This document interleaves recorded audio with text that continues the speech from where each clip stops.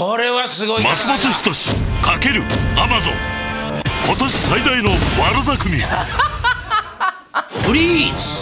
選ばれたのは8人の生贄。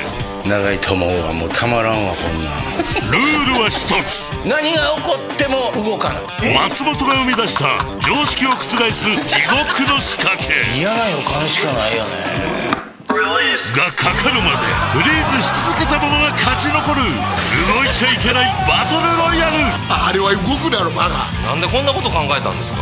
この変態がこの話題を人類はまだ知らない。あんな最先端のテクノロジーこんなこと使ってええのあれ。松本人志とアマゾンが本気で挑んだ新境地。これはすごい。プリーズ。まっちゃんあんたは天才だ。9月19日あなたは笑う